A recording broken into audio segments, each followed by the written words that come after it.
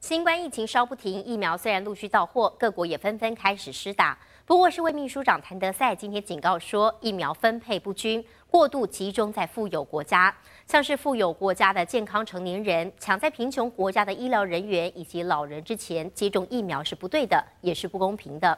谭德赛表示，这些情况如果再不改善，只会让疫情持续延烧，让世界处于道德沦丧的边缘，而人类的苦难将有增无减。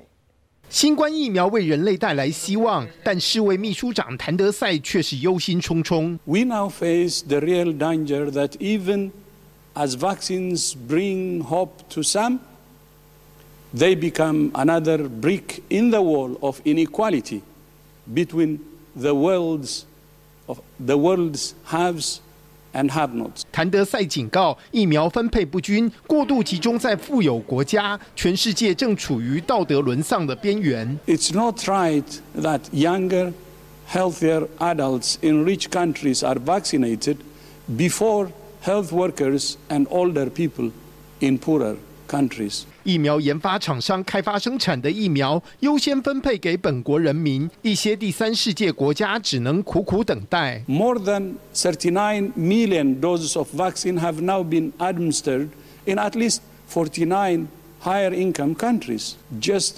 25 doses have been given in one lowest income country. Not 25 million, not 25,000, just 25. 谭德塞更直接点出疫苗分配的黑暗面。Some countries and companies continue to prioritize bilateral deals, going around COVAX, driving up prices, and attempting to jump to the front of the queue.